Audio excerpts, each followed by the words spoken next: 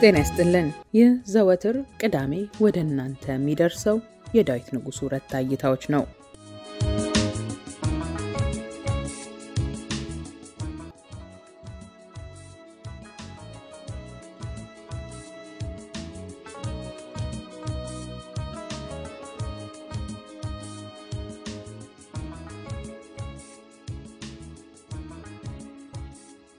ብልጽግናው ቀርቶብን ህልውናችንን ባላጣ ነው። ዳዊት ንጉሡ ረታ። አሁን አሁን አገሬን በተመለከተ የሚሰማኝ ስሜት በጽሁፍ ለማስፈር ወደ ኮምፒውተሬ በቀረብኩ ቁጥር ውስጤ በአንዳች የድብርት መንፈስ ይሞላል። የምጽፈው ስለ ወቀሳ፣ የምጽፈው ስለ መኮነን፣ የምጽፈው ስለ ሐዘንና ትካዜ፣ የምጽፈው በአጠቃላይ ስለሆነብንና እየሆነብን ስላለው መንግስታዊ አደገኛ ሴራ መሆኑን አስቀድሜ ስለማውቅ መንፈሴ አይረጋጋም። ደሜ ይሞቃል። ቁጭትና የመጠቃት ስሜት ውስጤን ያንዘረዝረዋል።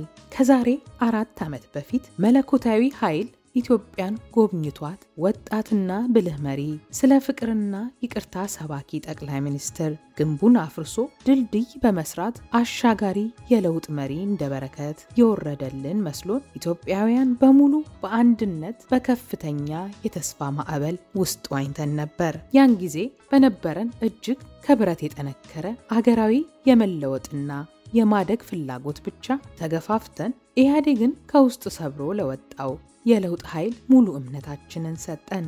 በወራትና በጥቂት ዓመታት ውስጥ ኢትዮጵያ የለውጥ ጉዞዋን በአስተማማኝ መሰረት ላይ ገንብታ ወደፊት ሩቅ እንደምትጓዝ ሁላችንም እርግጠኞች ሆንን። ወራት ሄደው ወራት ሲተኩ ዓመታት አንድ ሁለት ተብለው ተቆጥረው አራተኛው ላይ ሲደርሱ አገር ካለችበት መስመር ወደፊት መነቃነቅ ሲያቅታትና ብዙ ጊዜም እያዳለጣት የኋልዮሽ ስትፈጠፈት ተመለከትንና በነገሩ ግራ ተጋባን። የጠበቅነው እንዳልጠበቅነው፣ የተመኘነው ነገር ሁሉ ጭራሽ እንዳልተገኘ ነው። ያሰብነው እንዳላሰብነው ሆኖ ይመጣል የተባለው ለውጥ የቃላት ብቻ እንደሆነ ድንገት ተገለጸልን። የለውጡ መንግስት እንኳንስ ኢትዮጵያን ሊያሻግርልን ቀርቶ ጭራሹኑ አገራዊ አንድነታችንን መጠበቅ ተስኖት በእርስ በርስ ጦርነት አገር ታመሰች። በአራት ዓመታቱ የለውጥ በተባለው ጊዜ ውስጥ ኢትዮጵያ እጅግ የከፋ የተባለውን ፈተና፣ ግፍና መከራ ተቀበለች። ብዙ ሞት፣ ብዙ መፈናቀል፣ ብዙ መዋረድና መደፈር፣ ብዙ እስርና ስደት እጣ ፈንታችን ሆነ።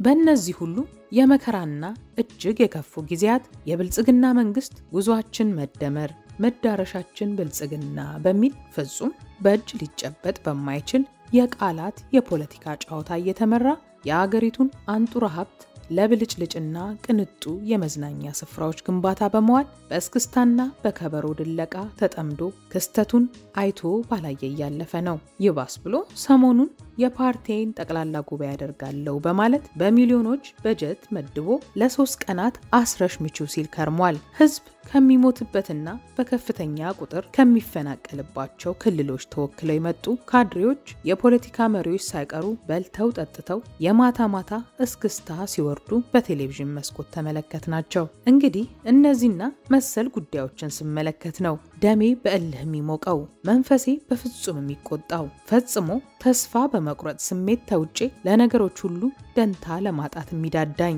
እዚህ በስደት በምኖርበት ሀገር በአጭር ዓመታት ውስጥ ከሀገሩ ወግና ባህል ጋር ተለማምጄ ቋሚ ስራ በመስራት ገቢ በማምጣት ከራሴና ከቤተሰቦች አልፎ አገር ቤት ለሚገኙ ዘመዶቼም ጭምር ድጎማ ለማድረግ በቅቻለሁ። ይህ እንግዲህ ቋንቋና ባህሉን ጭራሽ በማላቀው ከሀገሬ ምድር በስንትና ስንት ሺህ ኪሎ ሜትር ርቄ በስደት በምኖርበት ሀገር በፍጹም ሰላምና መረጋጋት የሆነልኝ በረከት ነው። በአንጻሩ ግን በሀገር ቤት ለውጥ መጣ በተባለ ማግስት የባለ ሀብቶች ሆቴሎችና ፋብሪካዎች በእሳት ዶግ አመድ ሲሆኑ መጤናችሁ ተብለው ከኖሩበትና ደክመው ለፍተው ሀብትና ንብረት ካፈሩበት ከተሞች ሲፈናቀሉ ዜጎች በማንነታቸውና በሚከተሉት የእምነት ምክንያት በግፍ ሲገደሉ አገር የለቅሶና የሰቆቃ ምድር ስትሆን በትብዝብታ ያለው ተመልከቱ። የሰማይና የምድር ያህል ልዩነት። መንግስት አሁንም ለምንም ለማንም ግድ ያለው አይመስልም። ከነባራዊው እውነታ የአራምባና ቆቦ ያህል ራሱን አርቆ ዛሬም የብልጽግናን መንገድ ለማሳለጥ የጠቅላላ ጉባኤ ድግስ ደግሶ ይበላል፣ ያበላል፣ ይጠጣል፣ ያስጠጣል፣ ዳንኪራውንም በጋራ ያስነካዋል። ይህንኑ መንግስታዊ ድንዙዝነት ይቃወሙልናል ብለን ተስፋ ያደረግንባቸው የተፎካካሪ ፓርቲ መሪዎች እነሱም ራሳቸውን ከመንግስት የስልጣን ፍርፋሪ እየተወረወረላቸው አፋቸውን እንዲዘጉ ተገደዋል። የአደባባይ ምሁራኑ እንደዚሁ ወደ ቁልቁለቱ መንገድ በፍጥነት ወርደው ተዋርደዋል።